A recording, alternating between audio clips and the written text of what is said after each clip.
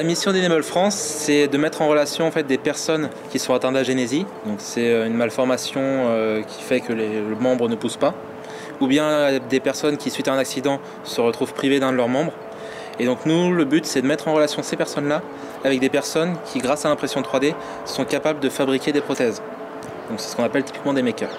Bah, un enfant qui est atteint d'agénésie, il va avoir l'impression d'avoir quelque chose en moins par rapport à ses camarades. Ça va susciter des questions, parfois des moqueries. Nous, l'intérêt, c'est qu'avec un appareil comme ça, bon, même si on n'a pas d'agrément médical et qu'on n'a pas pour vocation de faire des appareils qui vont être euh, bah, complètement robotisés, donner la totale euh, récupération d'un bras, nous, notre rôle avant tout, c'est un rôle social. C'est-à-dire qu'on va permettre à un enfant déjà de pouvoir participer à un projet qui est son projet, sa propre main, et puis surtout au fur et à mesure de ce projet, une fois qu'il sera délivré, pouvoir lui permettre d'avoir cette fois-ci quelque chose en plus et pas quelque chose en moins. Un maker, il faut être connu, euh, capable de fabriquer une main euh, présentant un niveau de qualité minimum.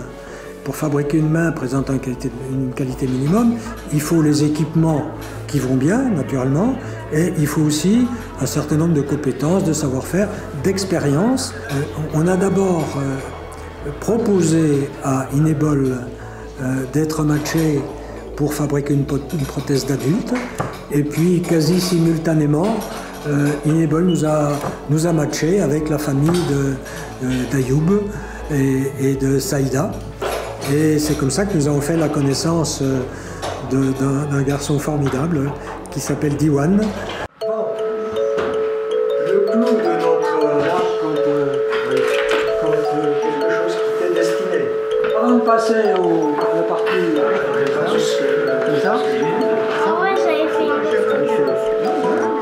On a été matché, on est rentré en contact avec euh, le club ABC qui, a été le maker, euh, qui avait été sélectionné. Et donc on est venu avec Diwan un peu pour discuter de déjà discuter dans un premier temps. Ensuite, par rapport à sa la morphologie, pardon, de sa main, etc. De voir euh, est-ce qu'il pouvait avoir juste une main qui est activable par le poignet ou s'il fallait quelque chose qui soit activable au niveau de la flexion du coude. Donc on, a commencé d'abord à regarder ça et ensuite Diwan a commencé déjà un peu visualiser les couleurs, même si on est passé par 3-4 choix différents. Mon père, il m'a dit Diwan, viens voir. Euh, il m'a dit qu'est-ce que tu veux comme couleur pour ta main?